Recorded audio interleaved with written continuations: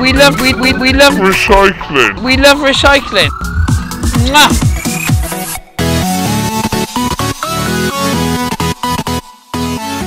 Kroz kampanju Rock and Recycle na ovogodišnjem Sea Dance-u pokušali smo da pošaljemo snažnu poruku koliko je važna zaštita životne sredine.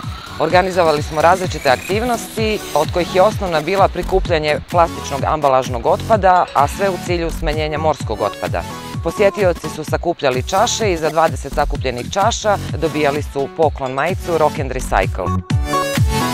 Došla sam iz Dubrovnika, prvi put je da sam ovdje i oduševljena sam s ovim da se skupljaju čaše, sviđa mi se jako. Drago mi je što smo ove godine prvi put imali mogućnost da zajedno sa kompanijom Trebjesa kao i sa NV organizacijom Ozon ugostimo sjajnu akciju Rock and Recycle i na taj način nastavimo kontinuitet sa Exit festivala s obzirom da na samom otvaranju festivala čuveni govornik Nik Vujičić zajedno sa Standing Rockom e, poslali su sjajnu poruku mladima da treba da radimo na očuvanju planete Zemlje. Neka naša ideja je, obzirom da se nalazimo u samoj blizini mora, da definitivno ukažemo na potrebu smanjenja i odgovornog odnosa prema otpadu u kontekstu ugrožavanja morskog ekosistema. It may be fun having a pint after work, but you have to think about the, the impact it's going to have on the environment. Drink Nikishko, because they actually think about that stuff. Jeez! Recycle.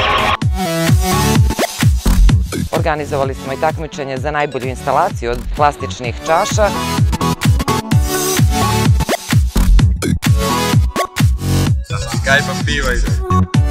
Mi se trudimo da animiramo ljude da otpad ne završi u moru, nego da završi u namjenskim posudama za to.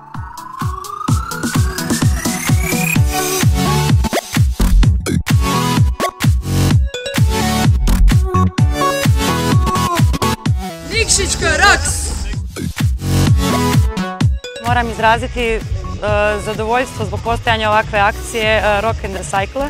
Interesantno je to šta sve može da nastane od e, nečega što tretiramo kao smeće. Mogućnosti je puno.